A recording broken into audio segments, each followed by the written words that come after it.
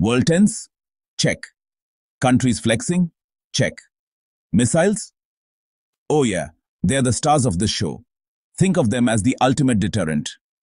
You mess with me, I launch a rocket. Not exactly subtle, but effective. China's been building up its missile muscle for a while now. India, not one to be left behind, is catching up fast. It's like a high-stakes game of who's got the bigger rocket, but with global security hanging in the balance. This isn't just about bragging rights.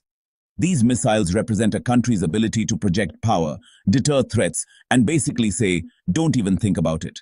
So, what happens when two rising Asian giants start comparing arsenals? Let's just say things get interesting.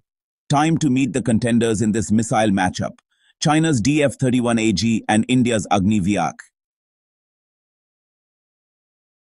First up, the DF-31AG. This is China's road-tripping, multiple warhead-toting missile. Think of it as a mobile fortress, always on the move, making it tougher to track and target. With a range of over 7,000 kilometers, that's like flying from New York to London. And then some. The DF-31AG can reach most of Europe and a good chunk of Asia.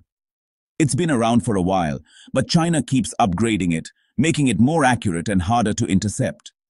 Not exactly the kind of thing you want aimed in your general direction.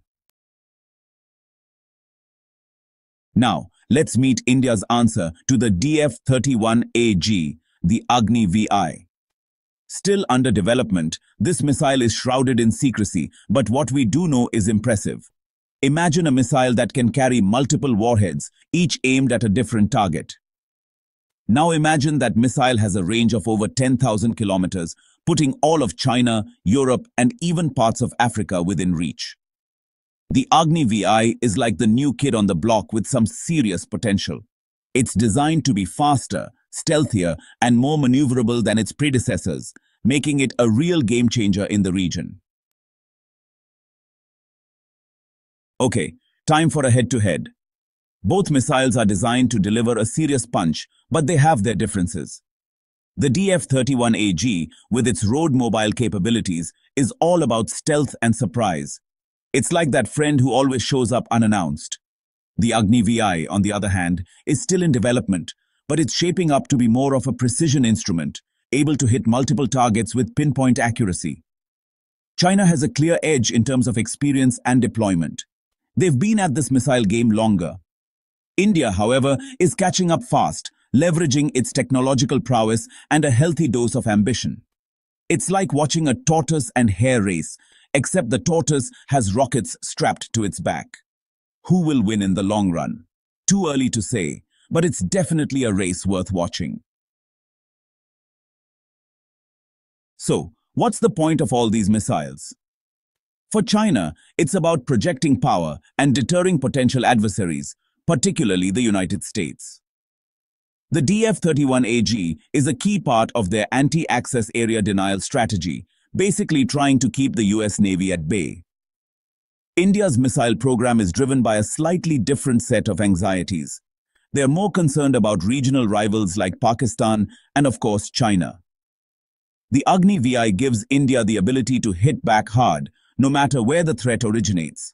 It's like two neighbors, each building a taller fence just to be safe. Except these fences are topped with hypersonic missiles. The problem is, this kind of arms race can create a climate of mistrust and make everyone feel less secure. It's a classic security dilemma. The DF-31AG and Agni VI are just two examples of a worrying trend. The global spread of advanced missile technology. More and more countries are getting their hands on these powerful weapons, and that's making the world a more unpredictable place. It's like handing out loaded guns at a picnic. Someone might get hurt, even if it's an accident. The international community needs to find a way to manage this arms race before it spirals out of control.